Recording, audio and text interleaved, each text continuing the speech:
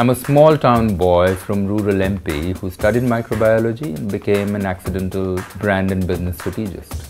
And what's kept me in this business for as long as I've been in this business is the firm belief that brands are beacons of betterment, of a better, of creating a better world, of creating a better society out there. And what is creativity? Creativity is nothing without diversity. It is different things, different people, different experiences coming together to form an image or an imagination that is moving, that moves people to do what they do.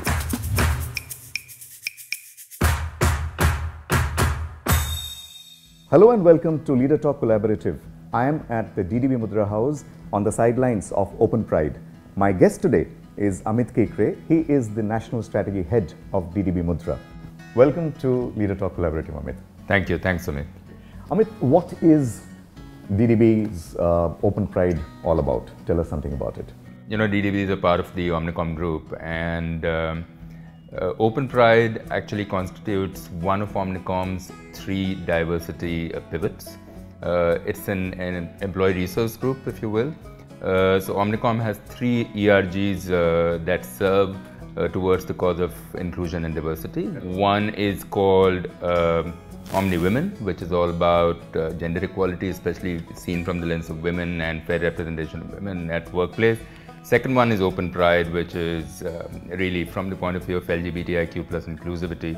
Uh, how do you make it, you know, uh, the workplace really safe and equal uh, for people from the LGBTIQ community? And the third one is called Add Color, uh, which really deals with uh, people from different races and ethnicity. Perhaps a conversation that's more relevant in certain Western uh, geographies like the US, where you have the Hispanic population or the African American population uh, and perhaps less relevant in India, though you never know.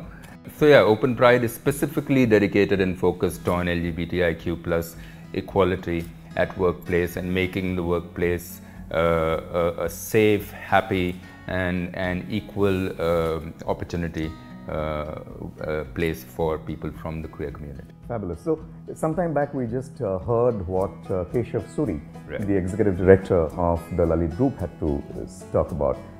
Just, just sum up the conversation for me. What did he say? And yeah, I mean, you're, you're asking me a pretty difficult one to, you know, kind of emulate because Keshav is uh, one of those people who's, uh, who's, who's led the cause for the community and has led it by example. Uh, he's one of the few openly homosexual leaders, corporate leaders uh, in the country alongside uh, Radhika Piramal. And he's, he's, he has the Keshav Suri Foundation, which does many things, right from you know spreading awareness to creating conversations about the issue, uh, spreading right awareness about the community, making sure that the community get uh, gets the kind of benefits that it must get. But I think one of his most uh, fundamental contributions, and that's something that all of us know, has been in being a part of uh, uh, the key petitioners that really petitioned against uh, Section 377. So we do uh, many events as part of the Open Pride initiative ever since we started Open Pride two years ago. And we invite people who are leaders from within the community to kind of you know inspire. And that's what Keshav was here for. Uh, and of course also to launch what we call DDB Transit. And DDB Transit is something that we thought of as our concrete step in taking forward our commitment to the LGBTIQ cause, where we've decided to design the first of its kind uh, internship program for the transgender community. It has been designed in a way that it, it, it really addresses some of the specific needs of the transgender community. Wonderful. In fact, in fact, in the RPG conference, the annual conference where we invite distinguished leaders to yeah. talk about, you know, various things this year, for the last year, we had uh, Mr. Patu Ketwani, uh, Keswani, who happens to be the chairman of uh, the Lemon Tree Group. Yeah. And he had a fascinating story to share about the you know PWDs who have who he has recruited and they're doing a fabulous job in, in his organization. My other question to you is, do you as the head of strategy uh, see uh, brands talking about purpose, inclusion? Do you also believe that organizations can help um, increase their brand value or create a better brand if they have you know purpose and inclusion as part of their branding strategy? Sure. Uh, first of all i think purpose and inclusion they're interlinked, but they're not the same in the in the way that uh, a certain organization's purpose, if it's designed in a particular way, can have inclusion as a part of it, but not all purposes uh, need to have inclusion. It depends on how you uh, envision or how an organization or its leadership envisions a purpose, whether or not it allows for inclusion. And of course, you know, the desire in, in today's modern progressive environment is for all organizations to embrace inclusivity as part of the purpose as they, as, as they design it because you know diversity is here to stay and with diversity inclusion inclusion kind of you know comes along. Uh, one works has to work in tandem with the other. This is an interesting one. I, I'm sorry to interject here but I remember uh, reading when I was researching this and it's Verna Myers that talked about that diversity is being called to a party inclusion is being invited to dance. Absolutely. That's beautiful Absolutely. I remember that. Absolutely. I couldn't agree more with you. In fact, you know, I'm sure that organizations like yours, and uh, I think you were talking about the, the happiness project that you all have embarked upon. And uh, from what I understand, that's a project which is also uh, designed in a way that it, it, it accounts for happiness of all the people that comes in contact with your own organization. Yeah, so it's not really a project, Amit. It is it is what our brand promise is at the corporate level. That's right. RPG's brand promise is um, happiness. Our uh, brand tagline is Hello Happiness. The reason we we we zeroed in on this is primarily because a huge amount of value rests in um, people at RPG, which is what uh, Chairman Mr. Harsh Goenka uh, spends an inordinate amount of time he spends 50 to 60 percent of his time to on people on people related matters to ensure um, that they perform to its maximum. So in its in its true sense, in its real, um, it, it, people are assets, um, and he truly believes in that. The organization believes in that, um, and then not only saying that, we've we followed it up with with uh, policies. Uh, since uh, S. Venkatesh, who's the uh, president of HR, he came in. We've had a, a, a series of um, you know, policies. Not only we've, we've launched happiness, but also we're backing it up. And in fact, we're trying to see how do we take happiness forward. Yeah, and I, I also like what you said, and sort of, you know, I want to make a point about it that this, these are uh, practices that you will typically see in certain kind of companies. But I, I think I want to, I, I, beg to differ a little bit because it's not something that I think at least is restricted only to certain kind of companies.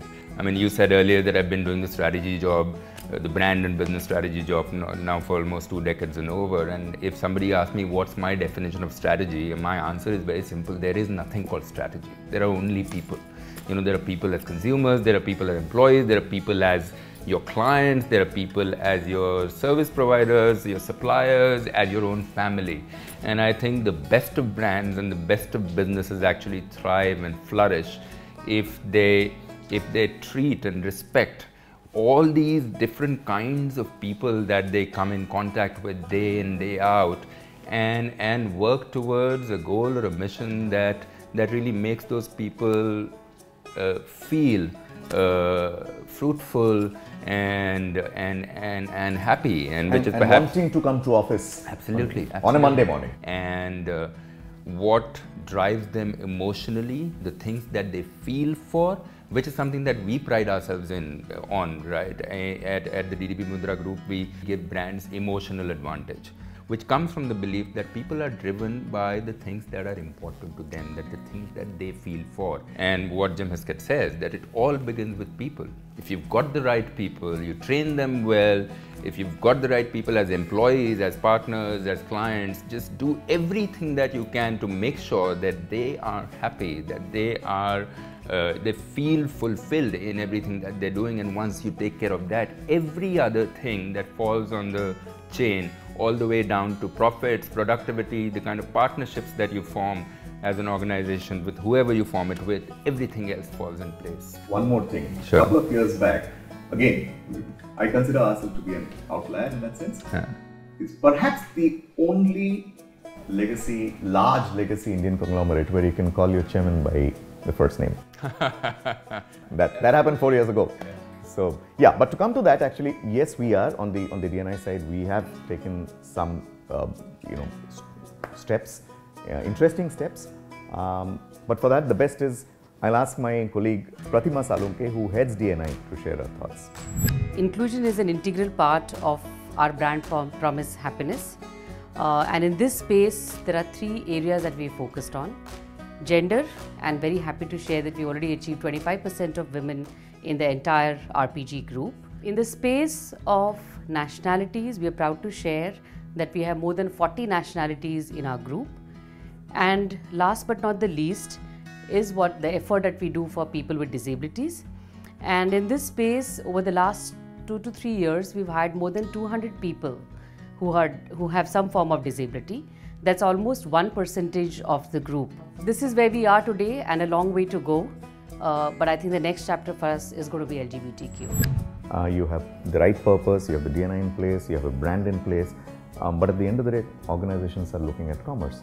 Um, where is that how do you bridge this gap between care and commerce? Any views? I don't think it's a gap at all. I think it's a it's a fantastic con confluence, you know, of commerce and community, and what at least organizations like ours, for instance, have to offer, which is creativity, and that's the pride that we take. And I think that's also the kind of specialization that we bring to the fore, which is a happy combination of or a confluence of creativity, community, and commerce. And what sits right at the center of it, Sumeet, is uh, I spoke about people earlier, and traditionally, at least as, an, as a communications group or an advertising agency, you're trained, you're hardwired to think of your consumers as consumers.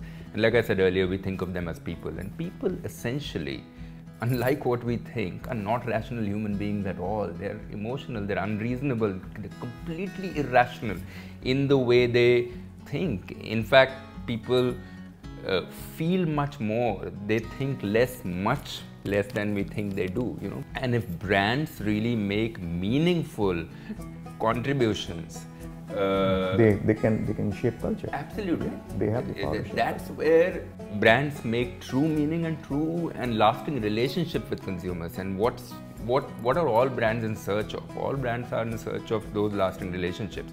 Uh, and that's where I think the, the, the sort of you know the, the, the, the jigsaw puzzle of uh, doing something for the community because people are a part of the community and when, when they see you uh, adding uh, a higher level of meaning to their lives to the society that they live in they form you know kind of very very strong bonds with you and at the end of the day that's what the business we're in thank you amit thank you for being on leader talk collaborative as our first guest it has been wonderful hearing your views um, on brands on purpose diversity inclusion um, and I can't thank you enough for this. Thank you. Thank you very much. I mean, it, has been great talking to you, also learning about uh, the things that you're doing at uh, the RPG group.